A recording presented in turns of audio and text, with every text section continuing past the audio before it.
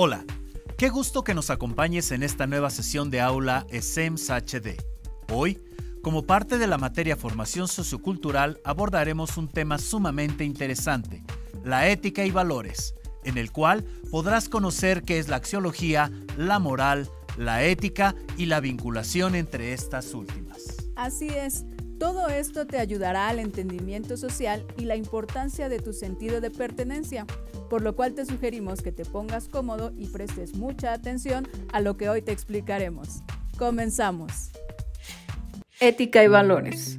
Los valores del ser humano son aquellas ideas que conforman una ética y una moral que se comparte alrededor del mundo por las diversas culturas, considerando siempre lo que es bueno y correcto. Es muy importante no dejar de lado que existen infinidad de costumbres y tradiciones distintas a lo largo y ancho del planeta. Sin embargo, existe una serie de valores que son universales y que hoy en día es muy importante promoverlos. En cuanto a la ética se refiere, se sabe que es tan antigua como la historia del hombre. Desde épocas remotas se tenía ideas sobre lo bueno, lo justo, el deber y la virtud, por medio de lo cual se podían determinar y justificar las acciones realizadas. En el mundo antiguo, el hombre primitivo se preocupaba por determinar lo que estaba bien o estaba mal, aplicando un conjunto de valores, principios y normas concretas, cuyo incumplimiento era severamente castigado. Empezaremos platicándote un poco sobre la axiología, la cual es una ciencia que se clasifica como una rama directa de la filosofía y se dedica al estudio de los valores. Nos ayuda a reflexionar sobre la trascendencia de estos a fin de mejorar y guiar el desarrollo humano en las sociedades. Y aunque la axiología surge a finales del siglo XIX, sus antecedentes se remontan muchos siglos atrás, en la filosofía platónica. En los diálogos de Platón y en su obra La República encontramos los antecedentes de la comprensión de los valores. Para este célebre pensador, los valores se refieren a significaciones positivas, la idea del bien, la belleza y la utilidad. La problemática axiológica está estrechamente relacionada con la concepción del mundo y cada filosofía argumenta su propia concepción. Estaremos de acuerdo en que las interpretaciones acerca de qué es el valor varían de una filosofía a otra e inclusive dentro de una misma escuela filosófica. Así es. ¿Y qué te parece si vemos la siguiente información para comprender más sobre la axiología y su vinculación desde el ámbito filosófico? La axiología. Palabra procedente del francés axiologie, formada con los términos griegos axios, que significa digno, valioso o con valor, y el término logos, estudio, teoría o tratado. Por lo tanto, se parte de la premisa conceptual de que la axiología es la rama de la filosofía que estudia los valores. Esta ciencia se aplica también a otros ámbitos y en ocasiones se llega a utilizar como sinónimo de los términos filosofía de los valores o teoría de los valores. La axiología forma parte de la ciencia de la verdad, es decir, de la filosofía, y se centra en el estudio y análisis de la naturaleza y funciones de los valores. Aunque el concepto se comienza a utilizar hacia el siglo XX, los valores ya habían sido objeto de estudio por parte de la filosofía a través de autores como Sócrates, Platón, Aristóteles y Kant. Entre los siglos V y VI a.C., en Grecia, los filósofos comenzaron a reconocer que existían diferencias entre las leyes y la moral de la sociedad. Sócrates creía que el conocimiento tenía una conexión vital con la virtud, haciendo que la moral y la democracia estuvieran estrechamente entrelazadas. Platón, como discípulo de Sócrates, fomentó esta creencia al establecer virtudes que deberían ser seguidas por todos. Sin embargo, con la caída del gobierno, los valores se volvieron individuales, provocando que florecieran escuelas de pensamiento escéptico. Hacia el periodo medieval, Tomás de Aquino hizo la distinción entre las virtudes naturales y las sobrenaturales, pero esto bajo una perspectiva teológica. Hacia el siglo XVIII, La filosofía del valor se remonta a la adopción del concepto de valor de la economía nacional. Para Immanuel Kant, por ejemplo, hablar del valor absoluto de la buena voluntad representa una adopción metafórica del concepto de valor económico. Para el siglo XIX, el concepto de valor juega ya un papel importante en la ética de Jacob Friedrich Fries, pero Lotze fue el punto de referencia de filosofías de valor posteriores, poniendo de manifiesto que, si la medida del valor se basa en un sentimiento de placer a través de la satisfacción de las necesidades, entonces surge una teoría de valor psicológico. Pero por otro lado, si a los valores se les concede solo importancia y validez relativas, esto lleva al relativismo de los valores como una forma especial de la teoría relativista. Una lista muy prominente de teóricos apuntaron hacia el manejo de la virtud o el valor, como Rickert, Windelband, Nietzsche, Brentano, Moore, Dewey, Luis, Scheller, Hartmann y Perry. Sin embargo, el primer autor que refiere a la palabra axiología como término fue el francés Paul Lapie hacia el año de 1902, dándole un sentido restringido y empleándola para los valores de orden espiritual y trascendental, y más específicamente aplicada a las nociones de orden moral y ético. Posteriormente, von Hartmann, hacia el año de 1908, refiere a este concepto empleado por la PI para fundamentar sus estudios y así consolidar a la axiología no ya como un término, sino como una disciplina de la filosofía que se referiría a un sistema formal para identificar y medir los valores. Si bien cabe destacar la importancia de estos autores, no es con ellos que se inicia la reflexión sobre los valores y los juicios de valor, el estudio de los mismos se puede remontar a David Hume hacia el año de 1748, quien se preocupó principalmente por la reflexión de los valores morales y estéticos, elaborando una teoría antimetafísica y nominalista de los mismos. Pero regresemos al siglo XX. Posterior a Lapie y a Hartmann, comienzan a surgir una serie de estudios empíricos para abordar este fenómeno, obvio ahora ya desde la psicología, pero haciéndolo a partir de estudios de distintos autores como Rockich en el año del 73, Hofstede en el 91, Schwartz en el 92 e Ingelhardt en el 97. Estas distintas perspectivas para el estudio de los valores son generalmente interpretadas como sustitutivas, producto de las perspectivas sesgadas de análisis de los diferentes abordajes y de cómo pueden aportar considerando las particularidades de cada enfoque al estudio de la axiología, la cual se divide en dos ramas. La ética, que se define como la teoría de los valores morales, o sea, de lo bueno, y la estética, que se concibe como la teoría de los valores artísticos o de lo bello. Y ya para terminar, cabe mencionar que la axiología en la actualidad no solo aborda las condiciones de lo positivo, sino ya también de lo negativo. Esto a través de la delimitación de los valores versus los antivalores, y cuyo abordaje conceptual implica un razonamiento crítico de la naturaleza racional del individuo en su contexto y que habrá de abordarse posteriormente. Ya que hemos estudiado un poco sobre la axiología, hablemos ahora acerca de los valores. Claro, los valores son guías que orientan la conducta de los seres humanos. Si tenemos un claro reconocimiento de los que poseemos, ello contribuirá a tomar decisiones congruentes con lo que creemos nos ayudará a resistir la presión que otros puedan ejercer y a evitar los sentimientos de culpabilidad y frustración al actuar en función de los valores de otros.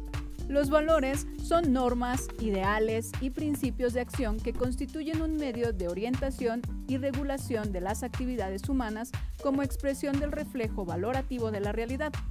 Cabe señalar que los valores están en relación directa con las normas de moral, las costumbres, las tradiciones y la cultura.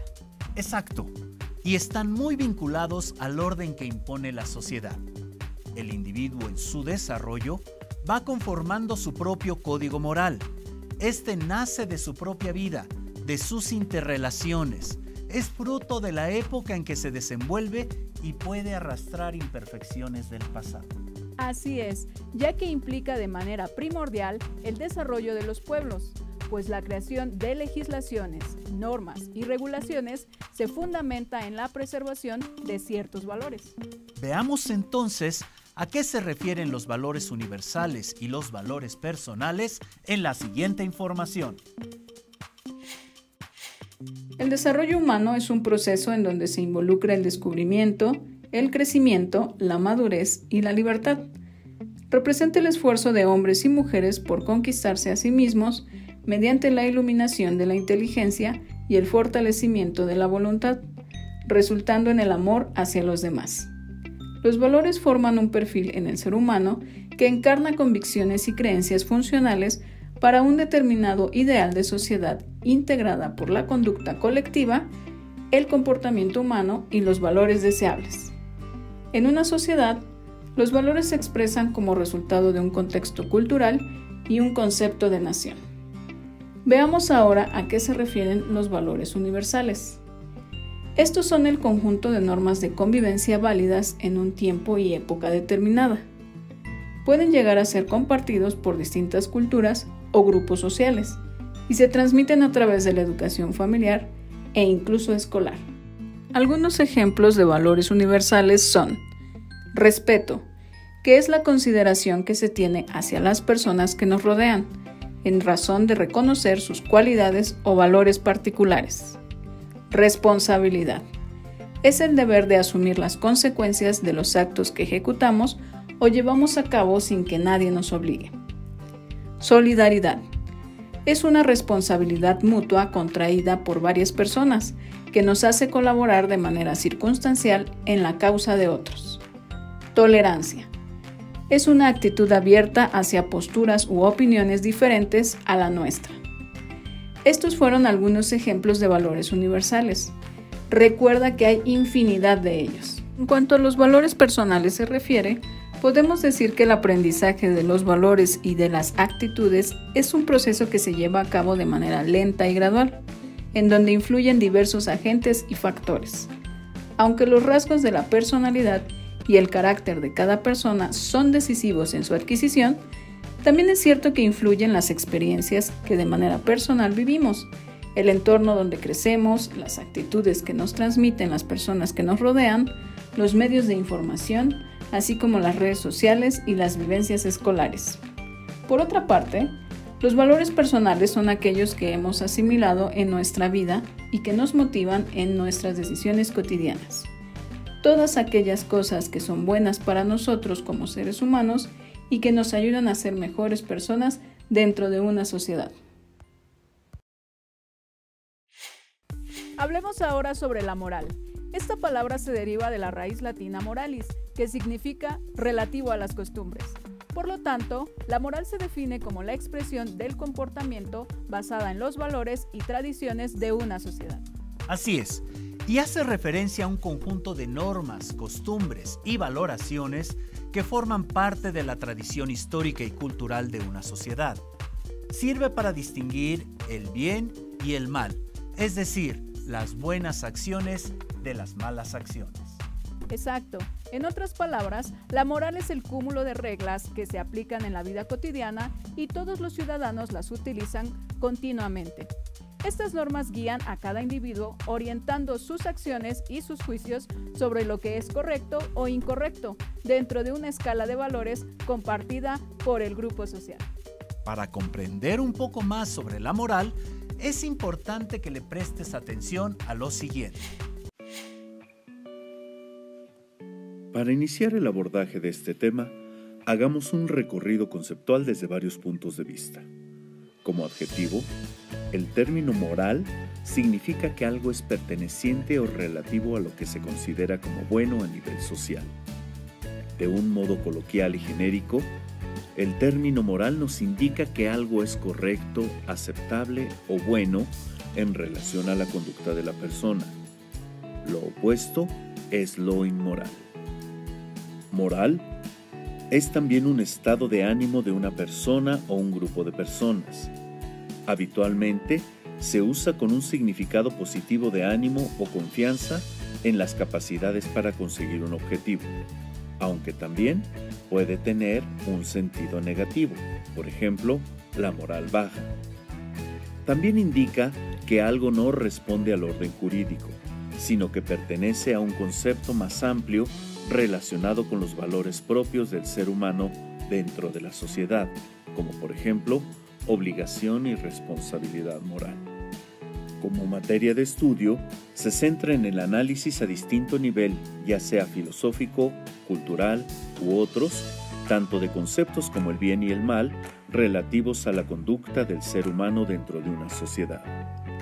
Sin embargo, desde la filosofía axiológica y que es el tema central a abordar, se define como el conjunto de normas, valores y creencias existentes y aceptadas en una sociedad, que sirven de modelo de conducta y valoración para establecer lo que está bien o está mal.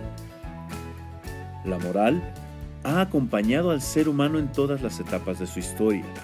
Su contenido no ha sido unánime, sino todo lo contrario cada tradición humana, cada escuela religiosa, cada cultura tiene sus propios preceptos y valores morales, a través de los cuales se expresan sus conceptos de lo bueno y lo malo. Probablemente, la moral surgió en los tiempos antiguos como un modo de organizar las comunidades y darles cierta estabilidad, pues a partir de reglas claras de convivencia y de conducta se veía el camino político de la prosperidad. La moral entonces se constituye de estándares de comportamiento que predominan y guían a las personas para que puedan vivir de manera cooperativa en grupos. Es decir, se refiere a lo que las sociedades ven como correcto y aceptable. La mayoría de las personas suelen actuar en conciencia moral y seguir las reglas de sus respectivas sociedades. Las personas o entidades que son indiferentes a cuestiones de bien o mal se consideran amorales, mientras que las que se comportan maliciosamente se les considera inmorales. Mientras que algunos principios morales parecen ser trascendentes en cuanto al tiempo y la historia, como por ejemplo la equidad, en términos generales, la moral no es estática. Se va transformando inherentemente al desarrollo de las sociedades y va describiendo los valores que comparten un grupo o sociedad en un punto específico de la historia, evolucionando a la par de las tradiciones religiosas, pero que hoy en día su significado sigue siendo importante en las sociedades seculares. Por ejemplo, empresas y agencias gubernamentales tienen códigos de ética que sus empleados deben respetar. A menudo se habla de un conjunto de normas morales como de una moralidad objetiva.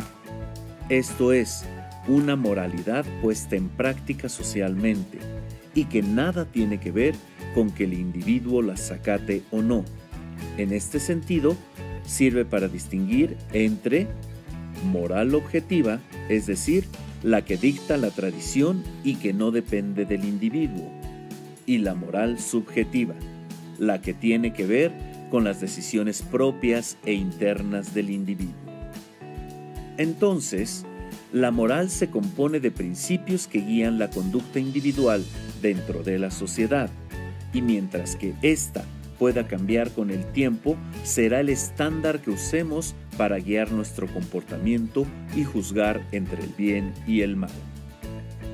La moral es la clave en la garantía de la paz y la convivencia social dentro de las comunidades humanas.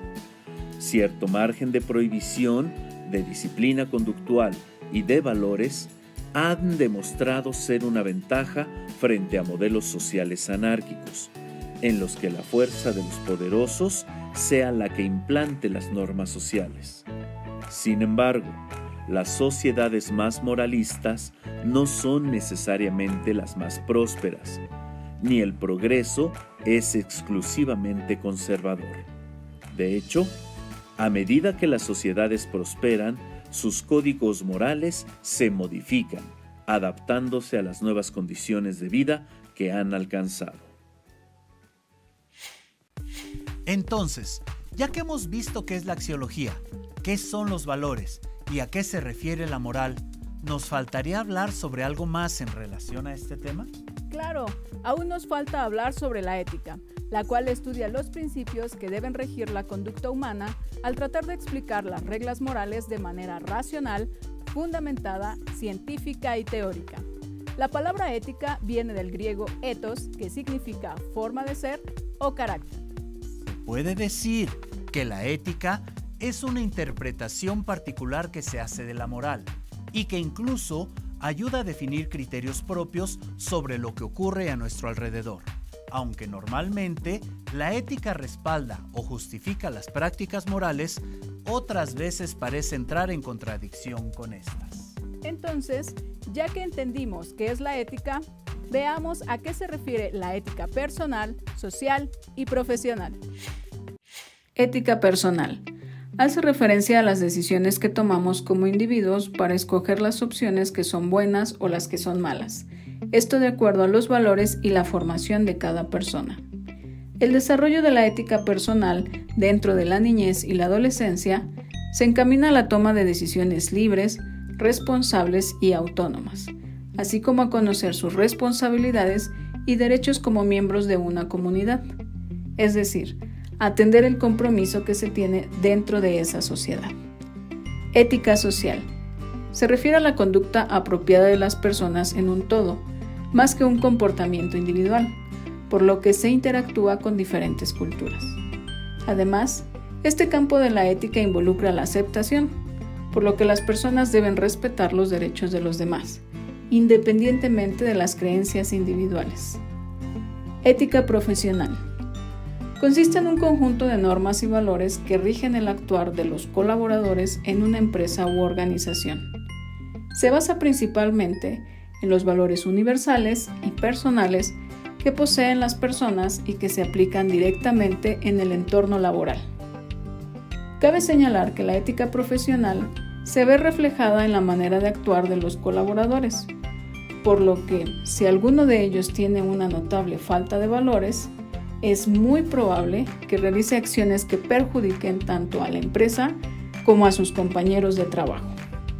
La ética profesional busca dejar de lado los beneficios e intereses individuales para trabajar en conjunto por un bien común, fijándose siempre en el cumplimiento de los objetivos y las metas de una organización. Es decir, si a la empresa le va bien, los colaboradores tendrán estabilidad laboral pero si se realizan acciones que la perjudiquen directamente, las consecuencias pueden afectar a muchas personas. Cabe señalar que al quebrantar de manera deliberada los valores en los que se basa la ética profesional, puede causar todo tipo de sanciones, incluso por la vía legal. Toda profesión tiene valores y compromisos específicos con los que cada colaborador debe conducirse. Es por ello que las sanciones a quienes no se apeguen a estos principios pueden ir desde la destitución de su cargo, la pérdida de la cédula profesional o incluso cumplir una condena en prisión. Hay ocasiones en las que los colaboradores pueden tener un conflicto entre sus valores éticos personales y los profesionales, lo cual puede derivar en que consideren que no están actuando correctamente, anteponiendo sus principios personales a los profesionales, decidiendo así romper toda relación con la organización donde laboran.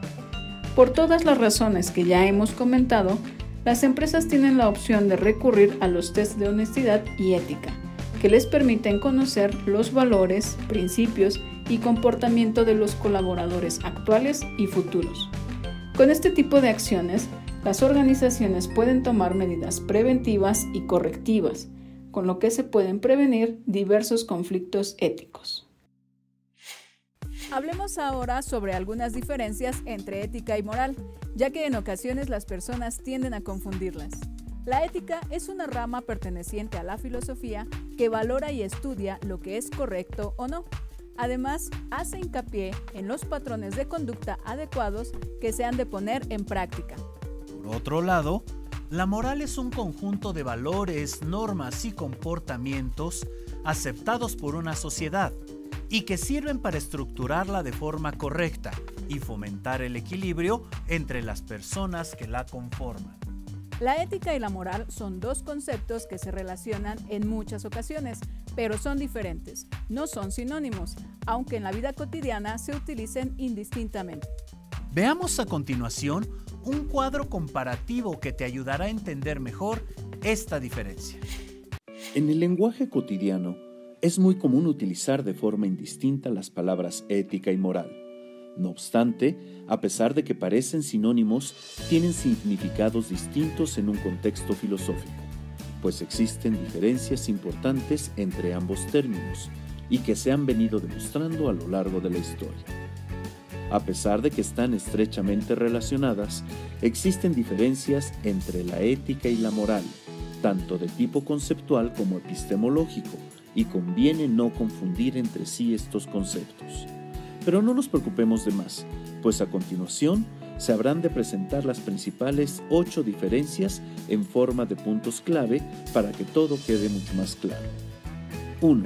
La ética es una reflexión de la moral, donde la moral se define como un conjunto de normas que guían el comportamiento de los integrantes de una sociedad en función de su contexto cultural. Y la ética, como rama de la filosofía, es la que reflexiona acerca de estas normas impuestas por la moralidad. En este sentido, la ética determina de forma racional qué conductas son virtuosas y cuáles no. 2. La ética es universal, la moral cultural. Esto se explica en que cada sociedad y cultura del mundo tiene una moral propia, pues nuestro comportamiento depende del contexto social y cultural en el que nos encontramos. Es decir, Mientras que en un país árabe es inmoral que la mujer use prendas de vestir con los brazos descubiertos, en un país como el nuestro sí es moralmente permitido. La ética, en cambio, no depende de ningún contexto social o cultural, pues el ejercicio de introspección respecto al acto moral es un proceso inherente al individuo. 3. La ética es normativa, la moral descriptiva. La ética, como rama filosófica, nos hace determinar si una conducta es buena o mala. La moral, en cambio, como ámbito de estudio, se limita a describir las normas de conducta a observar en una sociedad concreta. 4. La moral es predominantemente práctica, la ética predominantemente teórica. La moral tiene un carácter práctico, pues implica obediencia, la ética, en cambio, implica la reflexión de si aquello que estamos haciendo en la práctica es bueno o malo. 5. La ética es individual, la moral grupal. La ética, a pesar de ser una reflexión universal, tiene una aplicación individual, es decir, cada persona, de acuerdo a sus propias reflexiones, desarrolla unos valores éticos únicos, la moral, en cambio, no tiene este carácter individual. Es producto de un consenso colectivo. 6. La moral se impone, la ética no. La moral tiene un carácter más impositivo e incluso coercitivo, pues no actuar de acuerdo a los valores morales de una sociedad puede acarrear graves complicaciones sociales e incluso problemas legales. Con la ética esto no ocurre. La ética es una reflexión sobre lo bueno y lo malo que nace de cada uno, por lo que no se impone. 7. La ética es voluntariamente consciente, la moral inconsciente. Cada persona elige qué valores éticos determinan su vida, de ahí que se diga que la ética es voluntaria como producto de un ejercicio de reflexión, es decir, que la ética es consciente. En cambio, para la moral, nosotros no elegimos esos valores con los que convivimos y estos se nos imponen a medida que crecemos, por lo que los adquirimos de forma inconsciente. 8. La moral es el deber hacer, la ética el cuestionar el deber hacer. Para terminar, la moral se basa en el qué debo hacer en función del contexto social en el que vivimos. La ética, en cambio, al ser una reflexión sobre dichas reglas del comportamiento, se basa en el pensar, ¿está bien lo que hago? Es decir, la moral dice qué se debe hacer, la ética dictamina si aquello que se está haciendo es bueno o es malo. Por lo tanto, y después de analizar el contexto de interacción en cuanto a diferencias y similitudes de estos dos conceptos, se puede concluir que existe una estrecha relación entre ellos, pero no al nivel de sustituir uno por el otro, sino más bien en el sentido de que uno complementa al otro, y a partir de ello se genera el equilibrio del fenómeno de socialización bajo una condición de personalidad propia del individuo forjada por el razonamiento virtuoso. La ética y los valores siempre están presentes en nuestra vida diaria. Y recordando las razones por las cuales te sientes a gusto con tus amigos, sin duda la principal es por la similitud y empatía de creencias, que se traducen en valores compartidos. Por eso es importante que conozcas los cuatro tipos de valores que se pueden encontrar en un ambiente organizacional. Y para poder entenderlos claramente, recapitulemos la información paso a paso.